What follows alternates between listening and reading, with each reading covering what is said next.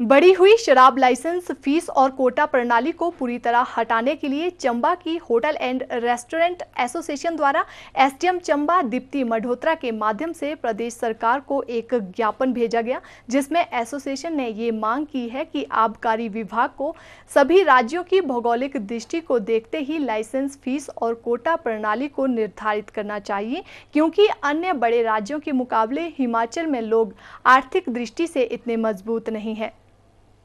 आबकारी एवं कराधान नीति 2019-20 के तहत रखे गए प्रावधानों के कारण हिमाचल प्रदेश के होटल एंड रेस्टोरेंट मालिकों को होने वाले नुकसान को देखते हुए होटल एंड रेस्टोरेंट मालिकों ने इन प्रावधानों का विरोध करना शुरू कर दिया है। इसी के तहत चंबा में भी होटल एंड रेस्टोरेंट मालिकों ने पत्रकार वार्ता के दौरान विभाग के नए प्रावधानों के खिलाफ विरोध ज़ाहिर किया।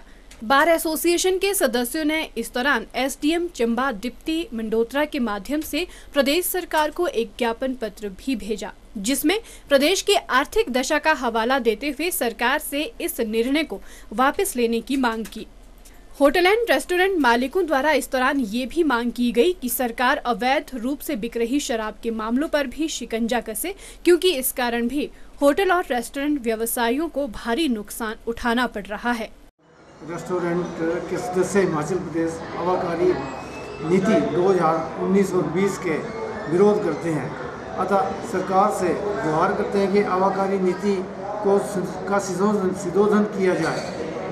जैसे कि हमारी फ़ीस बढ़ोतरी, जो हमारा फ़ीस बढ़ोतरी फ़ीस बढ़ोतरी है कोटा बढ़ोतरी है, उसे कम स्टेज पर निर्धारित किया जाए।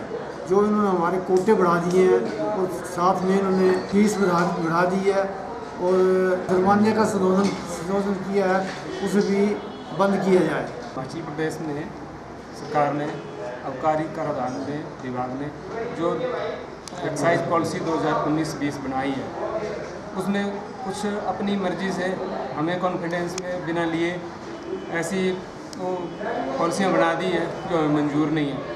हमारा जैसे चंबा ज़िले, और भी ज़िले हैं, ऐसी पॉलिसी बनाई है कि वहाँ पर शराब की और ग्राहकों की बहुत कमी है।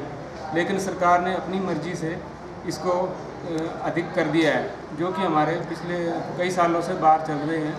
पिछली नीति के अनुसार जो हमारी फीसें थी, कम थी, हमारे एरिए को देखते हुए। लेकिन इस गवर्नमेंट ने या इस पॉलिसी को बनाने वाले ने इस बार उसको लगभग दुगना कर दिया है। क्या फ़ीस है, क्या जुर्माने की राशि है और क्या कोट है? सिटी चैनल के लिए चंबा से पुनीत मल्होत्रा की रिपोर्ट।